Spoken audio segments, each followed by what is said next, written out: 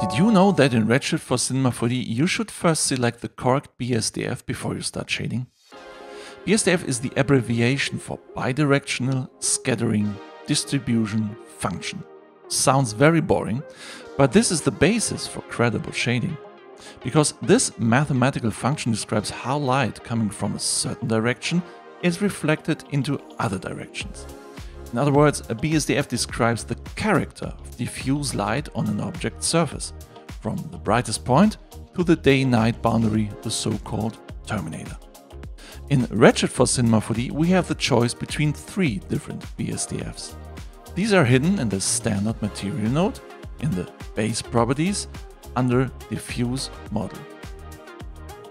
The default is a Lambert BSDF, introduced by Johann Heinrich Lambert in 1760, long before anyone had even thought of computers. This function describes perfectly smooth and slick surfaces with the same brightness from every viewing angle and a crisp light-dark gradient. Lambert is ideal for plastic, glass, varnished wood, water and all more or less smooth and slick surfaces. Now you'll ask yourself, wait a minute, where does it say Lambert? Nowhere.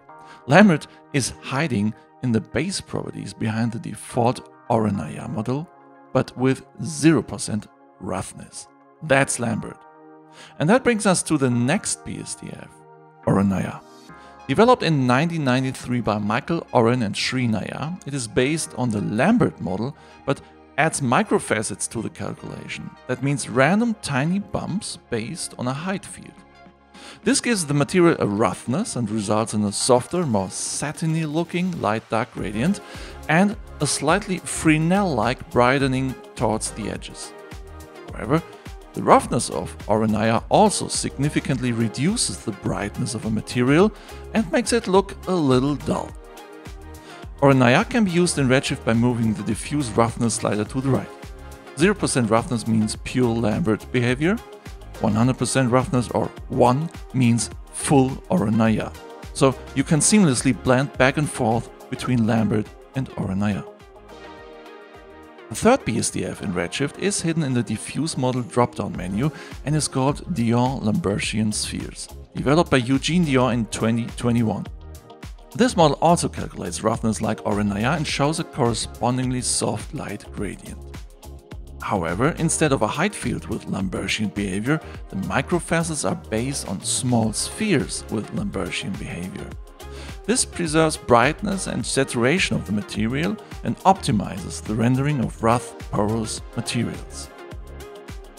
Let's take a look at the use of different BSDFs in this animation scene. All parts of the Mars probe are made of more or less smooth, shiny and slick materials plastic, glass, metal.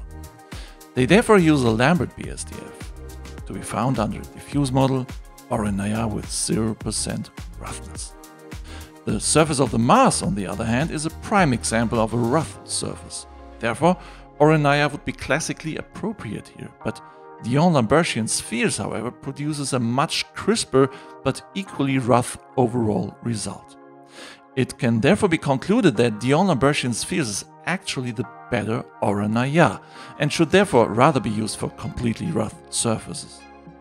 Please have a look at the finished project for second German television via the link below. If you like this video, press the subscribe button and don't miss the next episode of Did You Know Redshift for Cinema 4D every Wednesday on this channel.